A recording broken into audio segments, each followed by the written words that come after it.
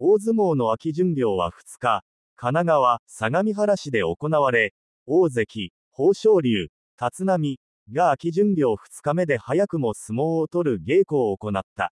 幕内、錦木、伊勢の海、小結、大栄翔、追手風、銅、平戸海、境川を指名し、計8番取って全勝。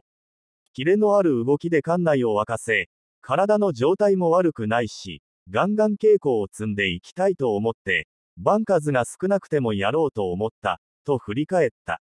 秋場所は序盤から黒星が先行。7勝7敗で迎えた千秋楽で勝ち越しを決め、初の角番の危機を逃れた。場所前には体重が150キロの大台を突破。一方で、筋肉がついた糞、体が硬い、と課題も口にしていた。増量した体の感覚は場所を追うごとに良くなっていったと言い、それに伴い後半は白星も増えていった。今の体重に慣れていけばいいんじゃないかな、もうちょいかな、と、150キロボディが徐々に自分のものになりつつある。3日は日体大可視校時代に3年間を過ごした千葉、柏市で巡業が開催される。